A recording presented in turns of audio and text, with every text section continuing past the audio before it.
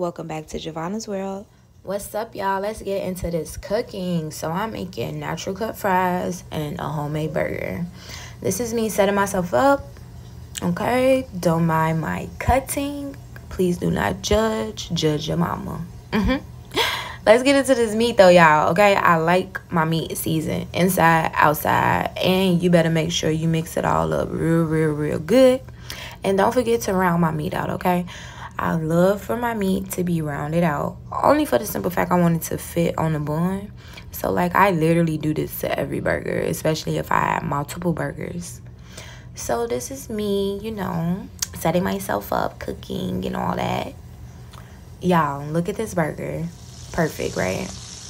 Mm. Why I feel like I can, like, oh, this feel like I'm making it right now. Oh my God. Mm. I love a home cooked burger, y'all. Like, especially well done, baby. Yes, girl. Yes. And I was hungry at this time, so this burger was like coming along, coming along. Now I use regular buns on some real stuff. I kind of ran out of buns, but let's get into these fries. I love me some natural cut fries. When I feel like making them, let's be 100. But when I do feel like making them, I make them good. My son say I be burning them, but I do not like them this light, y'all. Okay, so I tried to make sure I didn't overcook them, but you know, they came out pretty good. I think my son would have approved. Now let's get into this ketchup and mustard. I don't put a whole bunch of toppings on my burger at home. I'm sorry, I'm not one of those. We just gonna give me some ketchup and mustard, and I love me some extra ketchup. Y'all look at that natural cut fries, homemade burger. Yes, my burger is juicy. Don't judge me. Like I said, judge your mama. Extra ketchup, me please. Y'all, okay, so look. This part right here, I had to record. I had to because at the end of the day, y'all had to see how good this burger was.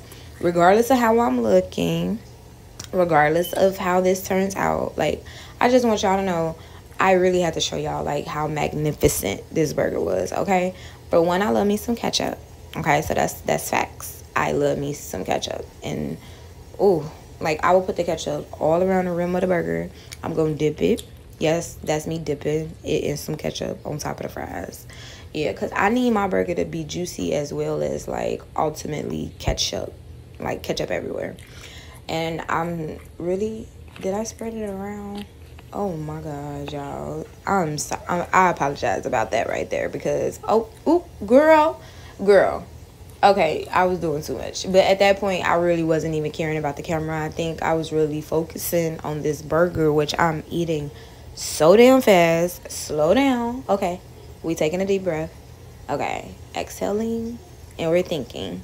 I believe in this moment, I realized like I was taking too many bites and I had to slow down so that I could take the intake in and make sure like I was swallowing correctly because like where is the water?